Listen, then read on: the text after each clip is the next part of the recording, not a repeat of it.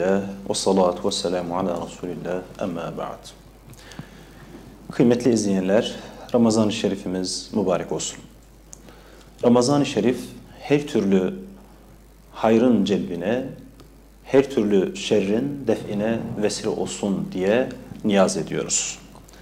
Allahu Teala bu Ramazan-ı Şerif'i tüm ümmeti Muhammed'in ve İslam aleminin üzerindeki bu salgının gitmesine ve yok olmasına vesile kılsın diyoruz inşallah.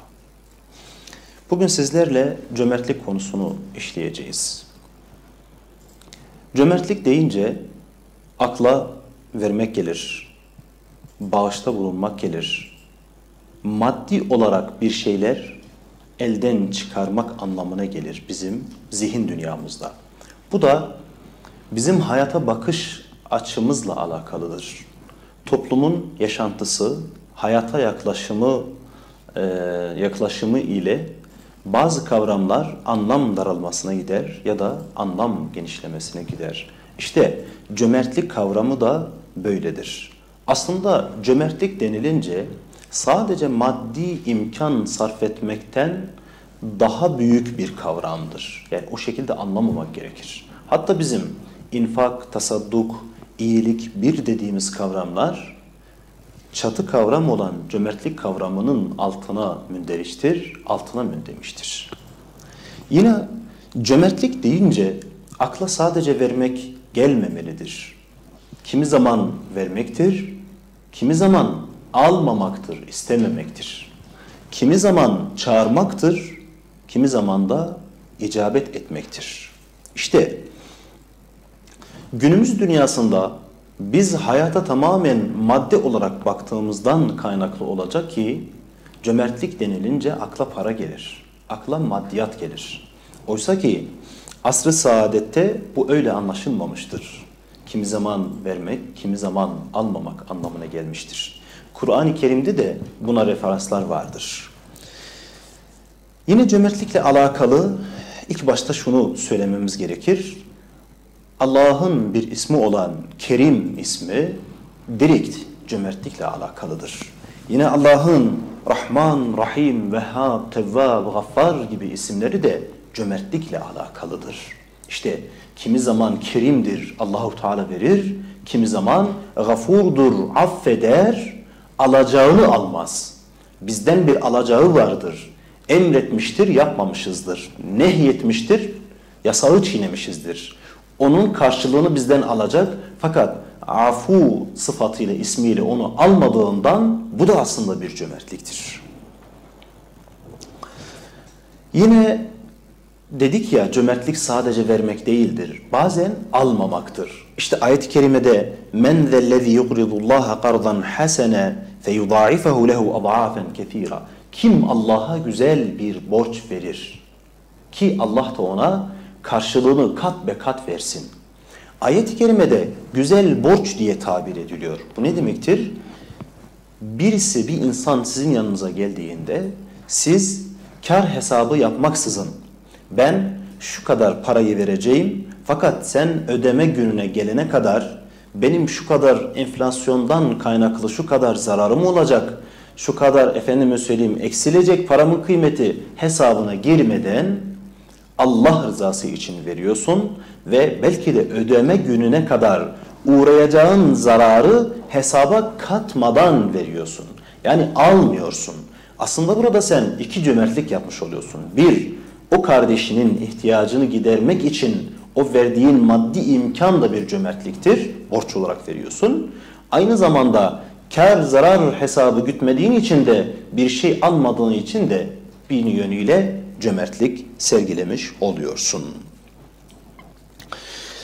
Evet, Tebük seferinde Allah Resulü sallallahu aleyhi ve sellem herkesi orduyu donatmak için bir şeyler getirmesini istiyor. İşte Ebu Bekir radıyallahu anh bütün malını mülkünü getiriyor ve aileme geridekilere sadece Allah ve Resulü bıraktım diyor. Bu da cömerttir. Bir cömertlik örneğidir. Yine Hazreti Ömer malının yarısını getiriyor orduyu donatmak için. Bu da bir cömerttir. Cömert listesine yazılıyor. Osman radıyallahu anh 40 bin kişiyi donatıyor, orduyu donatıyor. O da cömertlik listesinde ismini yazdırıyor. Fakat Urve bin Zeyd adında bir sahabi, fakir bir sahabi geliyor ve Allah Resulüne sallallahu aleyhi ve sellem diyor ki Ya Resulallah benim malım yok, mülküm yok, ben orduya katkıda bulunamıyorum. Fakat cihada katılmak istiyorum. Bana bir şeyler ver ki, bir kılıç, bir zırh ver ki ben de katılayım diyor. Allah Resulü bende de sana verecek bir şeyim yok deyince gözü yaşlı bir şekilde eve dönüyor. Kur'an-ı Kerim'de bunlara bekkaun diye tabir ediliyorlar. Urva bin Zeyd sabaha kadar ağlıyor. Ya Rabbi diyor malı olan malıyla, imkanı olan imkanıyla orduya katıldı. Senin yolunda cihada katıldı. Fakat benim malım yok, mülküm yok, imkanım yok. Ben nasıl yapacağım diye ağlıyor. En son aklına bir şey geliyor. Ya Rabbi diyor ben fakir bir kimseyim. İhtiyaç sahibi bir kimseyim. Öyle olduğumdan dolayı da ne zaman meclise gel, gelsem, katılsam hep arkalarda oturtuldum. Hep ayakkabının olduğu yerde oturttular beni. Hep geriye itildim. Şerefim çiğnendi, gururum çiğnendi, onurum kırıldı. Ben bugün sana neyi bahşedeceğimi, neyi bağışlayacağımı biliyorum diyor. Ben o çiğnenmiş gururumu, o onurumu senin yoluna infak ediyorum diyor. Ve sabah namazına geliyor. Allah Resulü sallallahu aleyhi ve sellem diyor ki bugün kim bir tasaddukta bulundu? Bu gece kim bir sadaka verdi? Kimseden ses yok.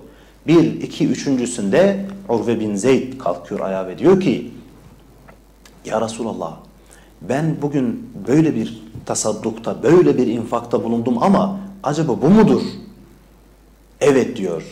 İşte bu diyor. Meleklerin birbirleriyle yarıştıkları, yazmak için meleklerin birbiriyle yarıştıkları infak budur işte diyor. Evet kıymetli izleyenler. Sadece mal vermek değildir.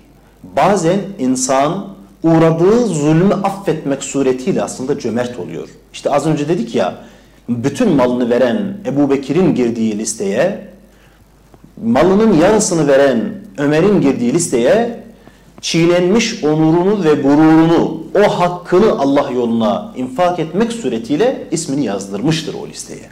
Evet, kimi zaman vermek, kimi zaman da istememektir, almamaktır.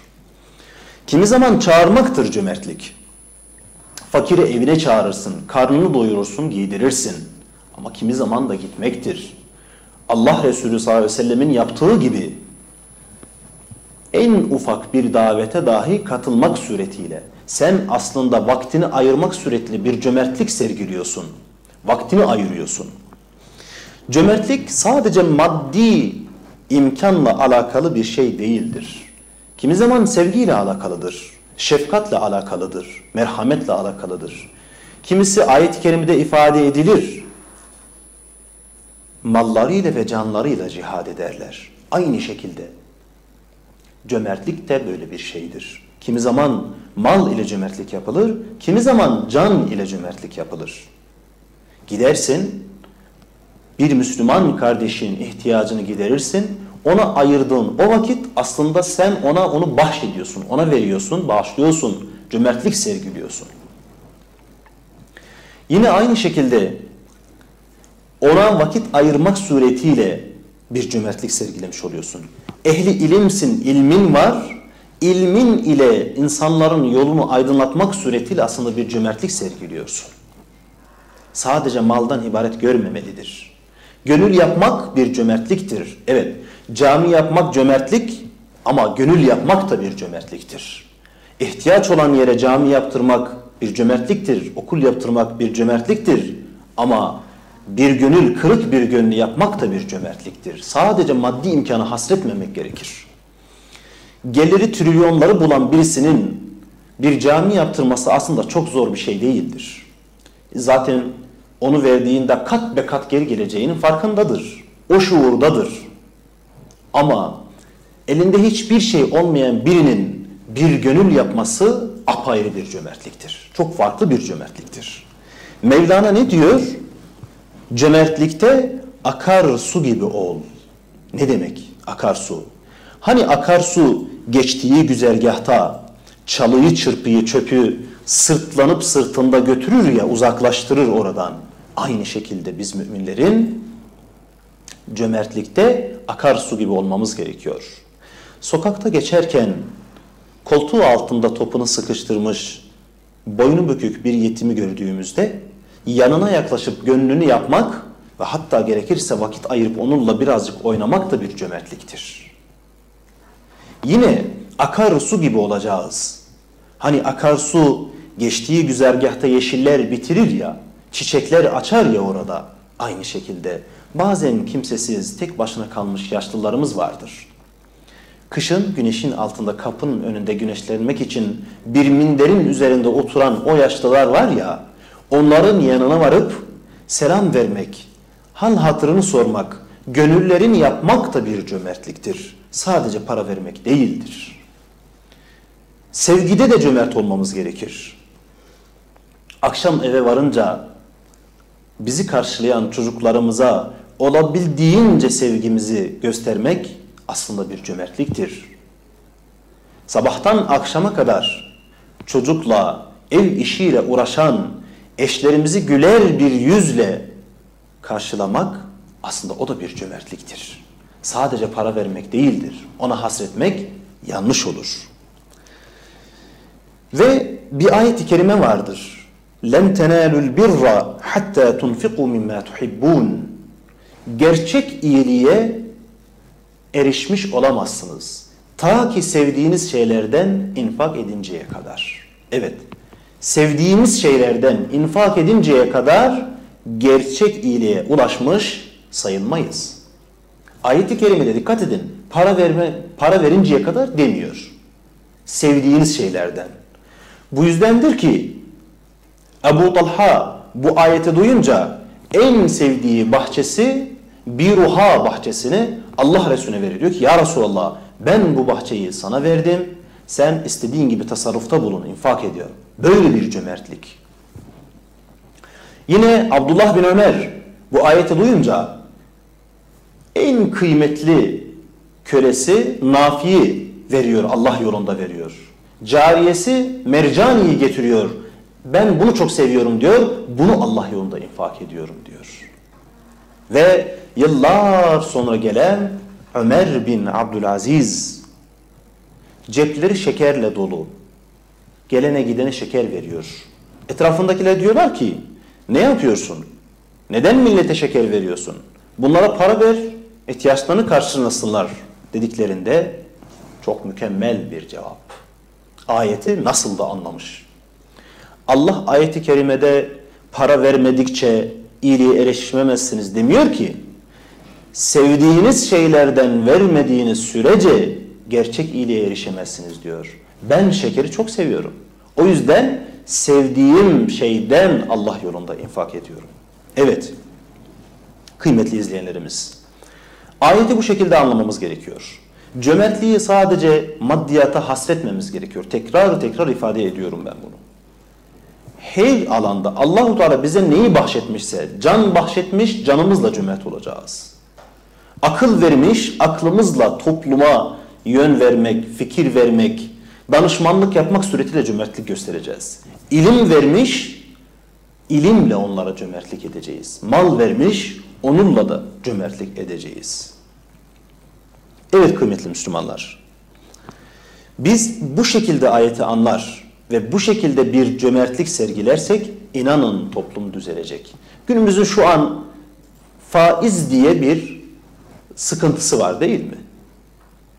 Evet sıkıntımız var faizle alakalı. Fakat faizi biz ayet-i kerimede kim faiz yerse Allah'a ve Resulüne savaş açmıştır. Ayet-i kerimesini okuyarak, insanlara bağırarak, çağırarak biz bunu ortadan kaldıramayız. Ama şu, biz eğer cömertliği hiç karşılık beklemeden borç vermeyi biz alışır, ondan sonra topluma alıştırırsak en büyük sıkıntı olan faizi de ortadan kaldırmış olur. Bu vesileyle dilimiz döndüğünce cömertliği anlatmaya gayret gösterdik. Allahu Teala hepimizin tuttuğu oruçları kıldığı namazları, okuduğu Kur'an-ı Kerimleri kabul buyursun inşallah. Hepinizi Allah'a emanet ediyorum.